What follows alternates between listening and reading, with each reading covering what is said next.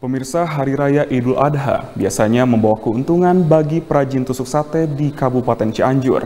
Namun di tengah pandemi COVID-19 tersebut, perajin tusuk sate harus mengalami kerugian lantaran kehilangan pesanan dari sekitar Cianjur maupun dari luar daerah.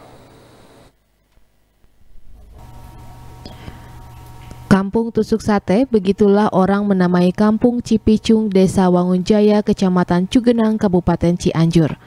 Pasalnya sejak puluhan tahun silam, warga di kampung ini menjadi perajin tusuk sate. Setiap harinya, para perajin mulai memotong batang bambu hingga menjadi beberapa bagian untuk kemudian diraut menjadi sebuah tusuk sate.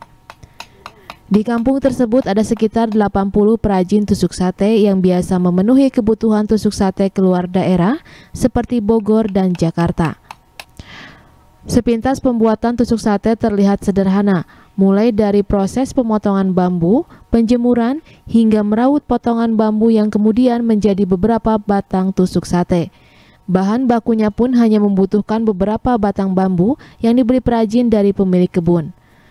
Setiap harinya kampung tersebut mampu menyediakan sekitar 100 ribu batang tusuk sate.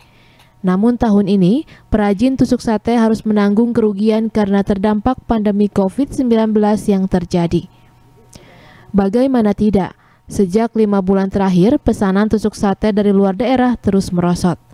Bahkan menjelang Hari Raya Idul Adha, belum ada satupun pesanan yang masuk, padahal momen Idul Adha setiap tahunnya menjadi keuntungan bagi para perajin karena pesanan yang biasanya naik berkali-kali lipat.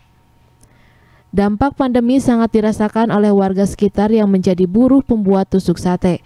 Pendapatan mereka terus menurun lantaran pesanan tusuk sate terus merosot.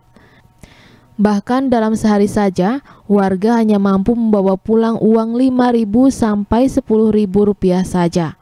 Untuk tusuk sate ini di saat COVID ini gimana keadaannya Pak? Usaha ini Pak, usaha ini uh, corona ini gimana? lagi sekarang lagi merosot tuh.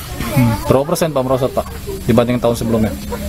Ini paling banyak kan merosotnya. Ya, biasanya penjualan itu uh, berapa Pak?